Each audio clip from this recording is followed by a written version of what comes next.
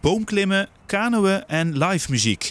Het landgoed Eikenburg in Eindhoven hield dit weekend voor het eerst open huis. En dat smaakt naar meer.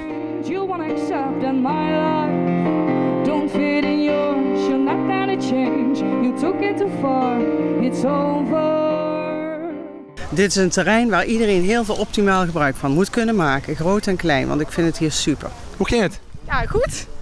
Ja, even pittig, maar eh, ik eh, ben er goed doorheen gekomen. Ja. Eikenburg is voor velen een oase van groen en rust in de stad. En sommige Eindhovenaren halen er herinneringen op toen het nog dienst deed als klooster van de Broeders van Liefde. Het is een mooi terrein, ik ken het al wel van school. Ik heb hier op school gezeten. Ehm, het is een heel prettig gebied om in te zijn. Mijn vader heeft hier gezeten, dus ik heb wel wat verhalen gehoord. Maar ik had nooit echt een impressie van hoe het echt zou zijn. Maar nu ik het zo zie, is het wel echt eh, im- impressief. Heel goed.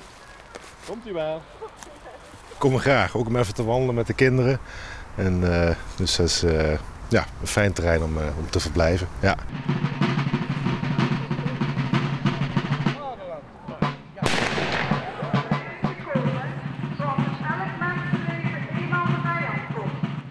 Woningcorporatie Trudeau wil Eikenburg nieuw leven inblazen.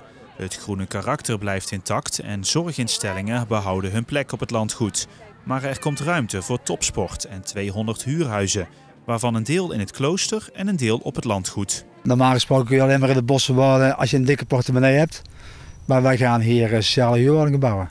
Dus gewoon mensen met een bescheiden inkomen kunnen gewoon in dit fantastische mooie bos gaan wonen. Het is een uniek gebied.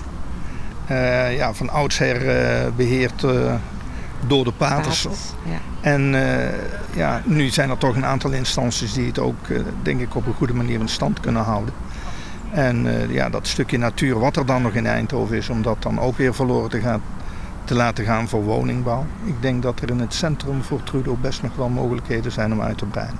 Na verwachting start Trudeau volgend jaar met de bouw van de huurwoningen.